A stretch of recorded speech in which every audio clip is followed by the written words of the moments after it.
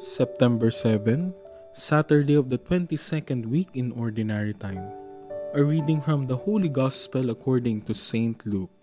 While Jesus was going through a field of grain on a Sabbath, his disciples were picking the heads of grain, rubbing them in their hands and eating them. Some Pharisees said, Why are you doing what is unlawful on the Sabbath? Jesus said to them in reply, have you not read what David did when he and those who were with him were hungry? How he went into the house of God, took the bread of offering, which only the priest could lawfully eat, ate of it, and shared it with his companions. Then he said to them, The Son of Man is the Lord of the Sabbath. The Gospel of the Lord. The Son of Man is the Lord of the Sabbath.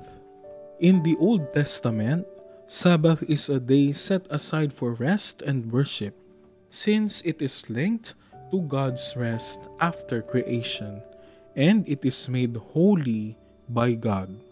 It is a day of remembering God's gift of creation, and its observance is enshrined in the Ten Commandments.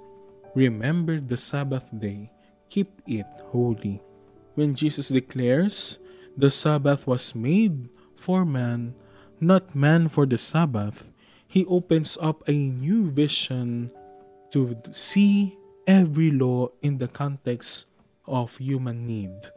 The law is not self serving, but is meant to recognize the lordship of God in all creation, which includes man as the highest of God's creatures.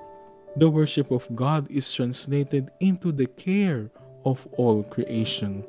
For the Christian, Sunday is above all an Easter celebration, wholly illumined by the glory of the risen Christ.